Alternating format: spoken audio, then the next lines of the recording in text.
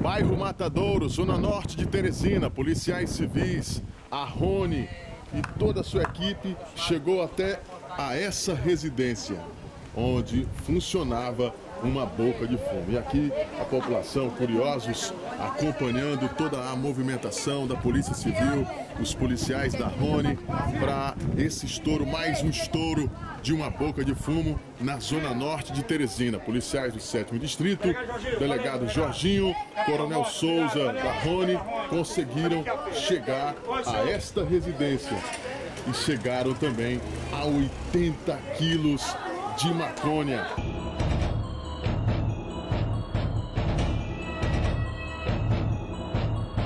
Qual o seu nome?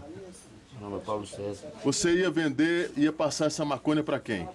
Não, não vou passar pra ninguém não, senhor. É minha. A maconha é sua? É.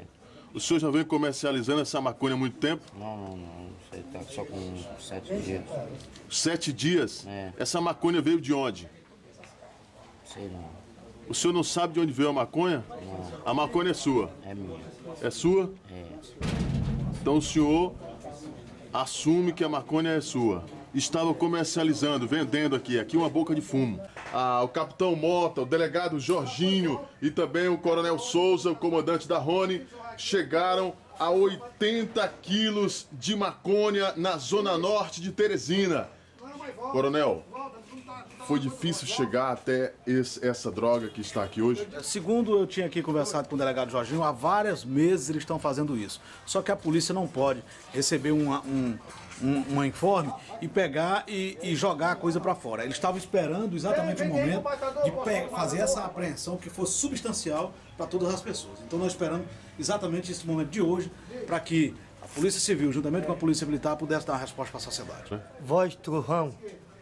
Não existe gostar ou não gostar. O trabalho do Rony e da Polícia Militar, a união e a força das polícias.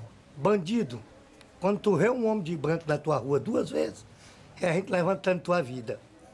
Então, tu deixa a área, vai vender maconha lá pra banda do Pará, pro diabo. Mas tu larga o Piauí, porque bandido não tem vez, não. Semana passada, os meninos fizeram, ele correu. Mas aquilo, a fruta só cai na hora certa. E hoje era dia do piqui cair. Cai, Hoje era dia do piqui, Cai, cai, piquido só cai no tempo. só cai no Pois tempo. hoje foi esse. Portanto, tá aqui.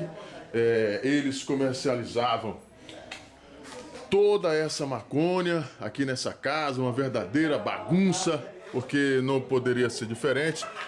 A Polícia Civil, o 7 Distrito Policial, conseguiu chegar, conseguiu chegar a, a essa, a esse elemento que já tem passagem pela polícia e aí com comercializando entorpecentes.